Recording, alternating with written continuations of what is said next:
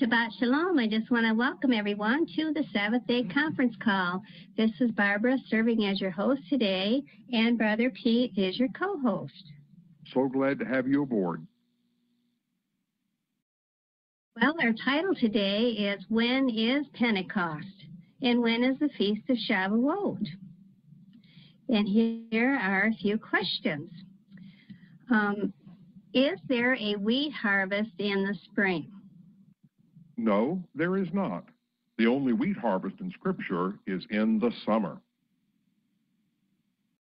Well, is a pilgrimage feast in the third month mentioned in Scripture? There is not. Only by using a corrupt counting method on a man made solar only calendar do we find a feast in the third month.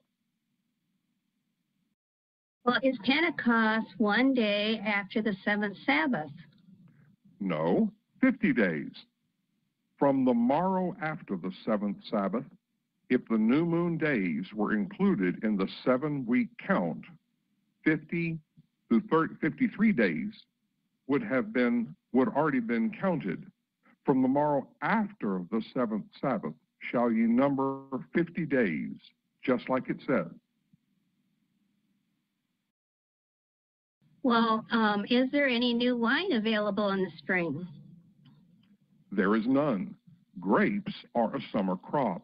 So either Peter's accusers were fools or there really was the possibility of new wine at Pentecost.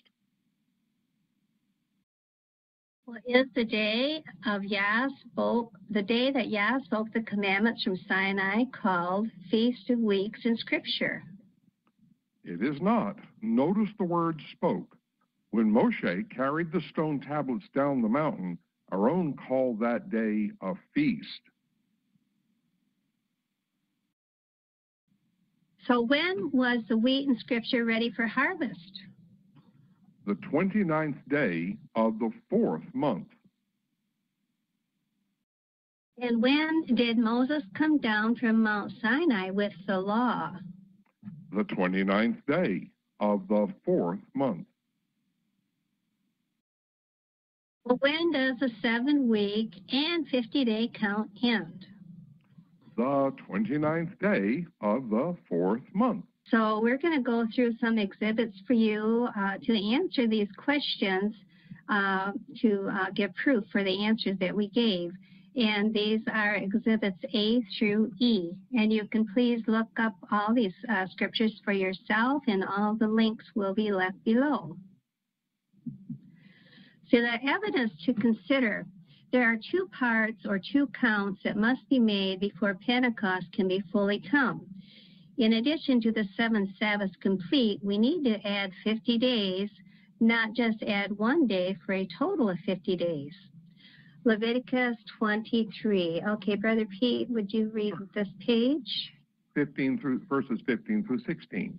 And you shall count for yourselves from the day after the Sabbath, from the day that you brought the sheaf of the wave offering, seven Sabbaths shall be complete.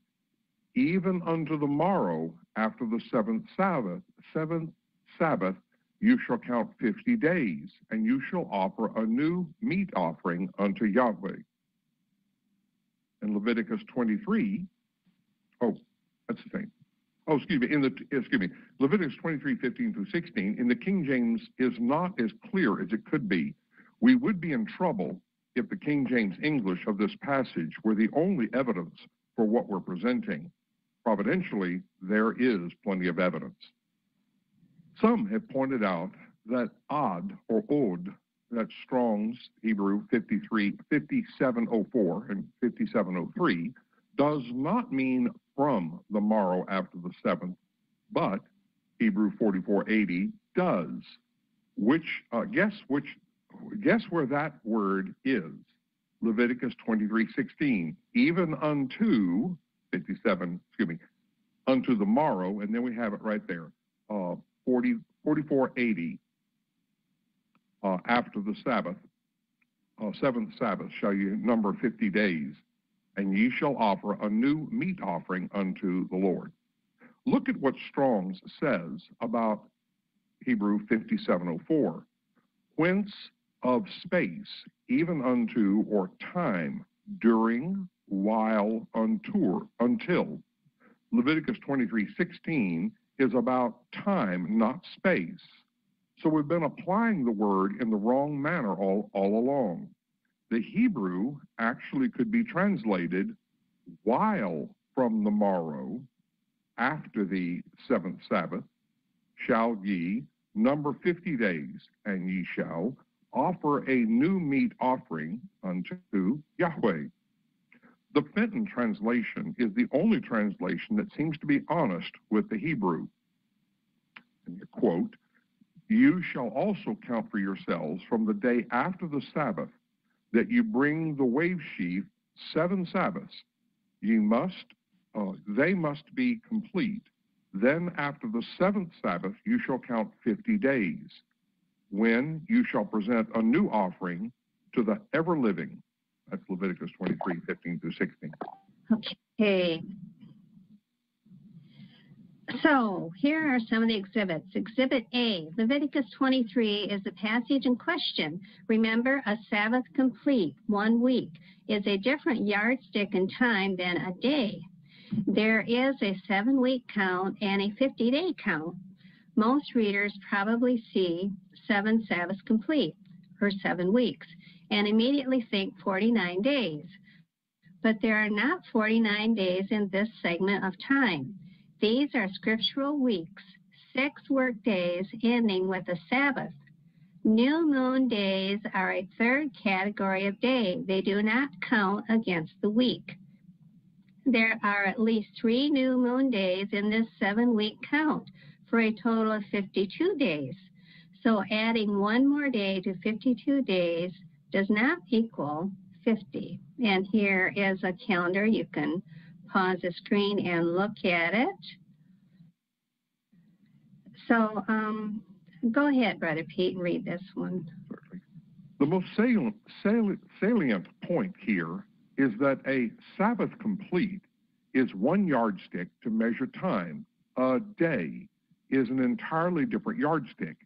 If a person is five feet nine inches tall, two separate two separate units of measure are used.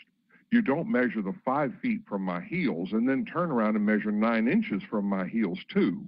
You add the inches after the inches after the 12th inch of the ninth foot, uh, of the fifth foot, excuse me.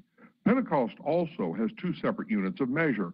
Seven weeks are counted or completed, and then the 50 days are counted. If a, if a person is five foot nine inches, this count is seven feet 50 inches, so to speak. there is no command in Leviticus 23 to begin the 50th day count at wave sheaf. It says to number 50 days from the morrow after the seventh Sabbath complete. Okay, and ye shall count unto you from the morrow after the Sabbath, from the day that ye brought the sheaf of the wave offering, seven Sabbaths shall be complete, even unto the morrow. After the seventh Sabbath shall ye number fifty days, and ye shall offer a new meat offering unto Yah. Leviticus 23, 15 through 16. So um, these weeks, number one, these are weeks as reckoned on Yah's calendar, not a Gregorian Roman Catholic calendar. Yah's weeks do not count new moon days. So, two, if you read the context of the passage, the 50 days are numbered from the morrow after the seventh Sabbath, not from wave sheaf. So, consider the following calendar. And here on the on the right, you'll see Yah's calendar and you'll see man-made calendar uh, for this year. We're in 2023 with uh, Pentecost on a Gregorian Sunday. So um, this is the sample of Yah's calendar. Uh, up here at the top, wave sheaf would be the 16th, and you agree that the 15th was the first day, the Sabbath day, the first day of unleavened bread the 14th there was Passover. So the wave sheaf is the 16th, the after the Sabbath. And so we have Sabbath complete. Here's our first week. This is our first Sabbath in the brown here. The first week, the second week. Over here in the second month, we have the third week, the fourth week, the fifth, the sixth. And then the Sabbath completed from the seventh week. This would be the morrow after here. And so um, the Feast of Weeks, is Pentecost, would be 50 days from the morrow after the seventh Sabbath. So that's when you would begin the count. So it ends up being the 29th day of the fourth month. And we have more about this, so this might be new to you. Just wait, we have more explanation. So when counting Sabbaths complete, we only count the six working days plus the Sabbath. The Sabbaths here are in tan, and the new moon days are in blue. As odd as it sounds, the new moon days are never included in a seven day week. The new moon is never called a Sabbath by name except for the seventh new moon, Feast of Trumpets. The new moon was a segment of time celebrated in a similar manner as a Sabbath. They blew horns, as it says in Numbers 10, 2 to 3, and 10, Psalms 81, 3. And there was no commerce, Exodus 28 through 11, and Amos 8, 5. The new moon was a day for a set apart convocation, Leviticus 23 3 and Ezekiel 46 1 and 3. So you will notice new moon days were not counted in the week. So, okay. Month is Feast of Weeks, Shavuot. Here's another witness, Exhibit B. Exodus 19.1 places our starting point in the third month. Israel arrived at Sinai on the 16th, which is the first day of the week, and Moshe was immediately summoned up the mountain. Yahweh told Moshe, Moshe to go back down the mountain and to tell the people to consecrate themselves, for on the third day of the week, the 18th, he would come down on the mount in a cloud. That's Exodus 19, 10 through 11. At the set time, Yahweh comes down from Hashemim, and the ten words, the Ten Commandments, came thundering down the mount. That's Exodus 21 through 17. The people drew back in fear, so Yahweh calls Moshe up and ver verbally gives him the remaining part of the covenant in Exodus 24, 1 through 3, we find Moshe giving an oral dissertation of what he heard on the mount, and the children of Israel agreeing to the terms of the covenant. Moshe then spends that night of the 18th writing down the terms of the covenant. Covenant. The next morning, the day of the day of the 19th, Moshe rose and built an altar, altar offering sacrifices, and then read the terms of the covenant to the people who once again agreed to the terms, Exodus 24, 4 through 7. After this, Moshe is again called up Mount Sinai, where he stayed 40 days and 40 nights. Okay, notice that in Leviticus 23, we are told to count seven Sabbaths complete, and here we are told to count 40 days and 40 nights. And by counting 40 days and nights, we must count even the new moon days because they are a day. However, when counting Sabbaths complete, we only count the six working days plus one Sabbath day, not the days of the rebuilding of the moon. Now, from the 15th, from excuse me, from the 19th of the third month, count 40 days you again end up on the 29th of the fourth month. Evidence that this particular day is a feast day. See Exodus 32, 1 through 6. Aaron knew it was a feast day, for it was his job as high priest to proclaim the feast of Yahweh. He just celebrated it the wrong way, and Yahweh was wrought. On this same day, the day Aaron said was a feast unto Yahweh, Moshe came, Moshe came down the mountain with the tablets of the covenant. That's Exodus 32, 7 through 20. Not to be lost is the fact that the law was indeed delivered at Feast of Weeks in written form, not orally, on the sixth day of the third month, as Israel did not arrive at Sinai until the sixteenth day of the third month. At the end of forty days and forty nights, Moshe received the tablets of stone. Deuteronomy 9:11. Granted, Moses broke them in a fit of rage, but the law was indeed sent down the mount to the people at Pentecost. Remember, Yahweh came upon the mount on the 18th day of the third month, well after the day presently observed as Feast of Weeks, the 6th of Sivan, which is in early June on the Roman calendar. This cannot be overlooked and should not be lightly regarded or ignored. Okay, and then this calendar again is above where you can look at the the first month where you have the first Sabbath complete, second, as we said before, third, fourth, fifth, and sixth, and then the counting of 50 days. So we have two witnesses placing Feast of Weeks on the 29th day of the fourth month on Yah's calendar, which is near the end of July on a Roman calendar. And here is another chart explaining that. The um, seven Sabbath complete and then counting 50 days. So why do we need wheat for Shavuot or Pentecost? Leviticus 23, 15 through 17. And ye shall count unto you from the morrow after the Sabbath, from the day that ye brought the sheaf of the wave offering, seven Sabbaths shall be complete. Even unto the morrow after the seventh Sabbath, ye shall number fifty days, and ye shall offer a new meat offering unto Yahweh.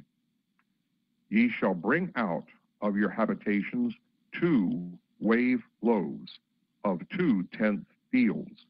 Ye shall, uh, they shall be of fine flour, they shall be baked with leaven, they shall be the firstfruits unto Yahweh. Okay, so we needed, going back to that screen, we needed the flour um, for those two wave loaves. So can a summer Pentecost be proven by either the historical record or the natural world? Exhibit C, historical record, uh, C, Nehemiah 1244. I'm reading over here on the left.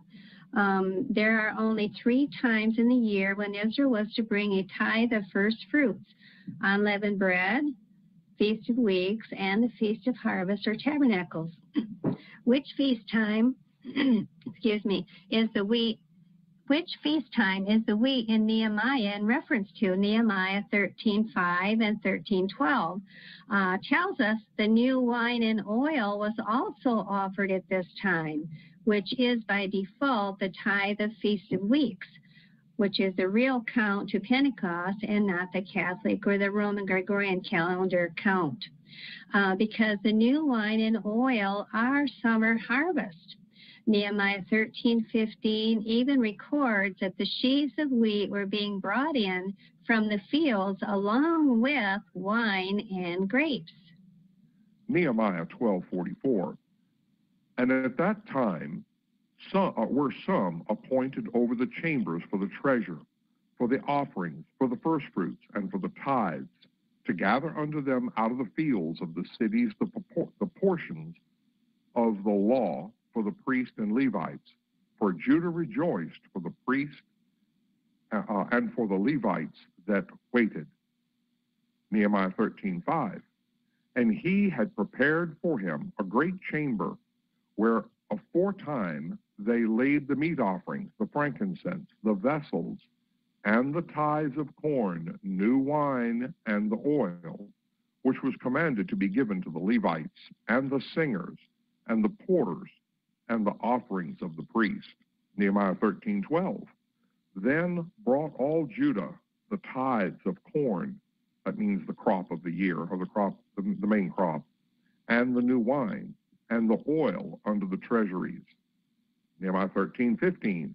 In those days I saw in Judah some treading wine presses on the Sabbath, and bringing in the sheaves, and laden, ladening asses, as also wine, uh, wine, grapes, and figs.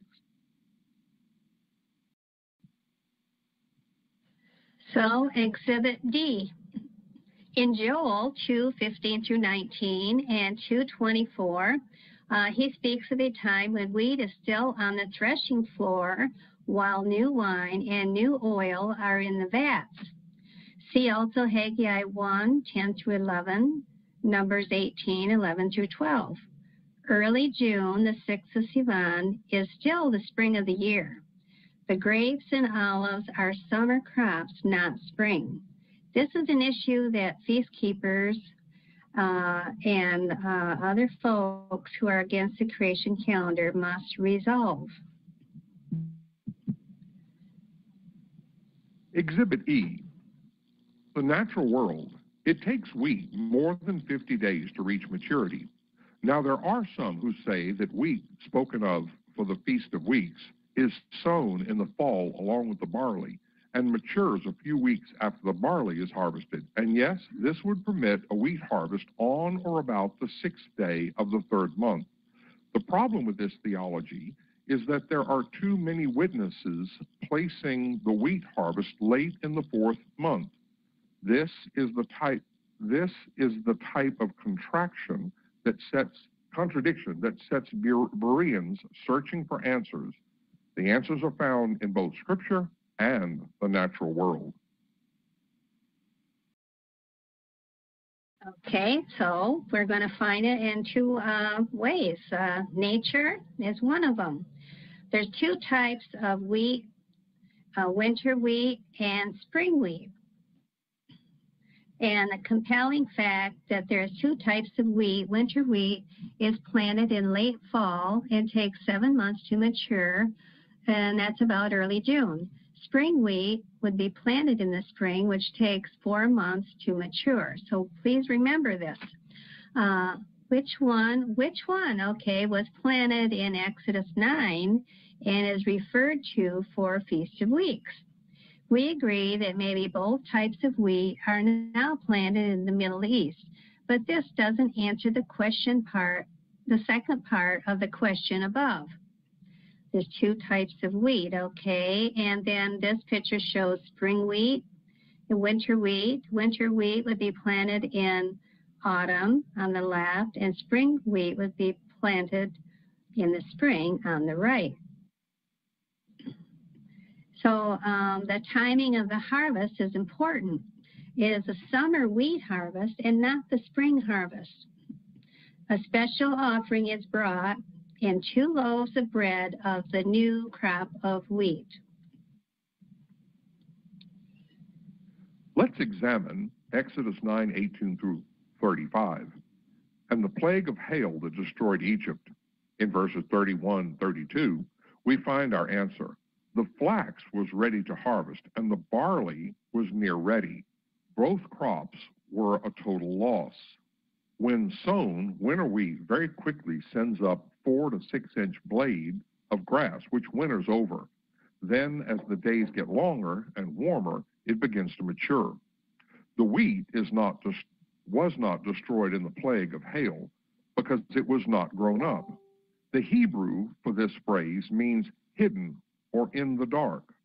By calculating the time between the plagues, the hail fell on, on or about the tenth day of Aviv, the significance of this is that the wheat in question had just been sown a short time before, before the plague, and had not yet germinated.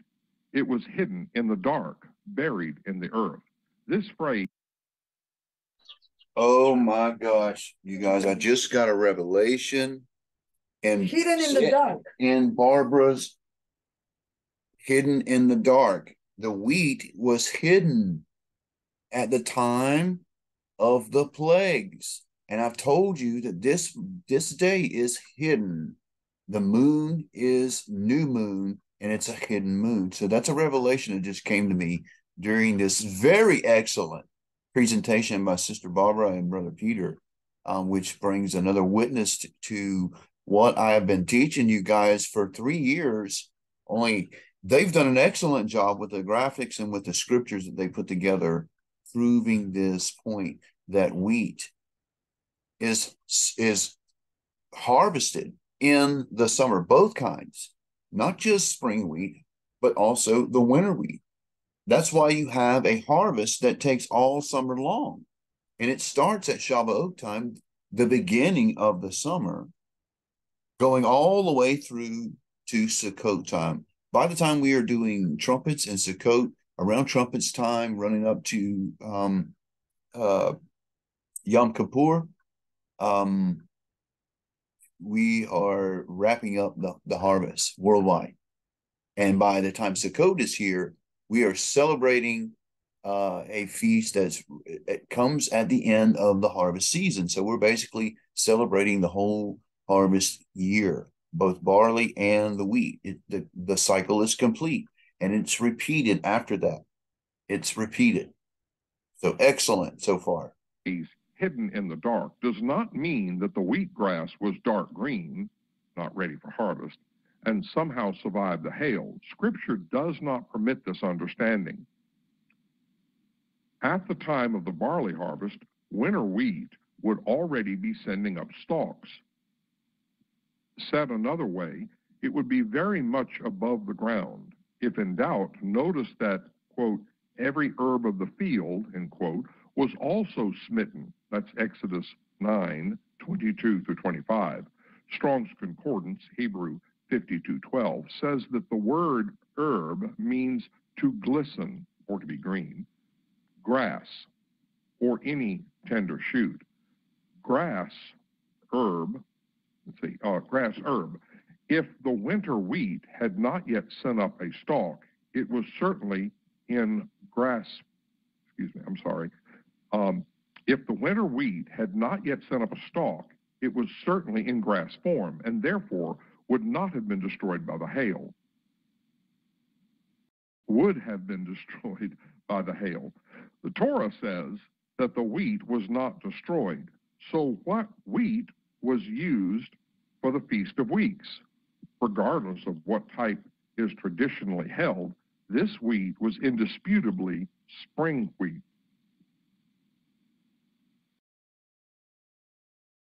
But don't take our word for it. Um, Judges 15, 1 through 5 says that Samson not only destroyed the wheat, but the vineyards and olives as well.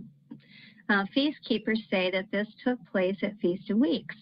There are no feast, there are no grapes or olives in early June, the third month on Yah's calendar. So Acts 2, 1 and 13 says that the disciples were accused of being drunk with new wine after Pentecost was fully come. These men knew that there was new wine available. Otherwise, there would be no basis for this claim.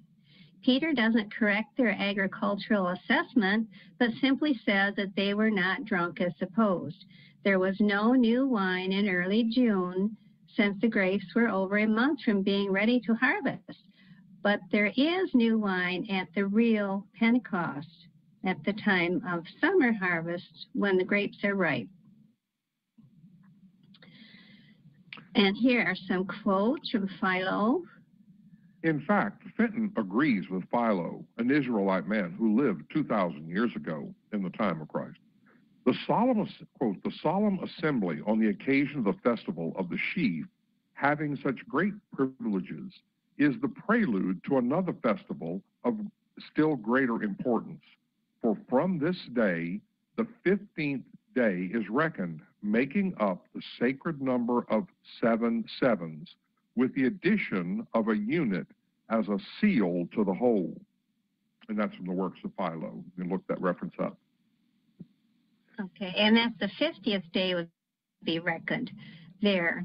So um, this sounds as if Pentecost is 50 days after wave sheaf, doesn't it? So uh, let's let Philo finish.